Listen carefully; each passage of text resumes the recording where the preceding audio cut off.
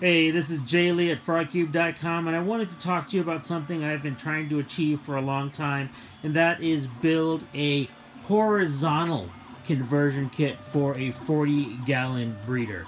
Uh, now, this represents a number of challenges because, simply speaking, uh, 3D printers are not designed uh, for this length, so I actually had to take a Ender 2 3D printer and extend it with open build parts to uh, try to allow it to print uh, at least 36 inches long.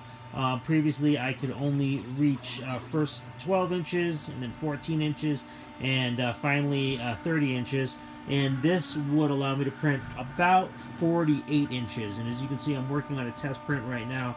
This test is actually for a 29 gallon, uh, which looks something like this. This is a failed test from a previous design of the um, uh, of the printer to allow me to print it.